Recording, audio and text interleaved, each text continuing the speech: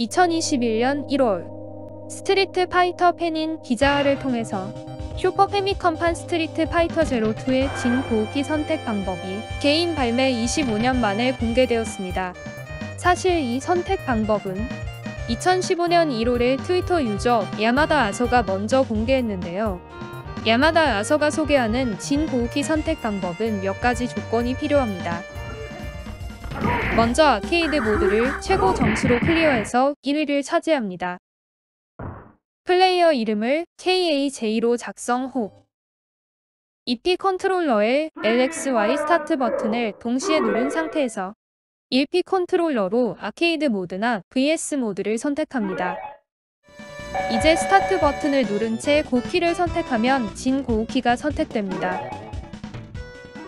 진 고우키는 고우키의 강화된 버전으로 참공 파동권이 두 발씩 나가며 아수라 성공의 무적 시간이 고우키보다 더 길며 전체적으로 고우키보다 공격력과 맷집이 향상되었습니다.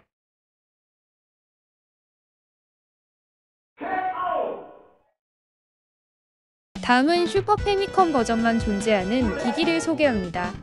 첫 번째, VS 모드로 게임을 시작해서 캐릭터를 선택한 다음 스테이지 선택 화면이 나오면 스타트 버튼을 누른 채 사가트 스테이지를 선택합니다. 이제 오프닝에서 볼 수 있는 대초원 스테이지에서 대전을 할 수 있습니다.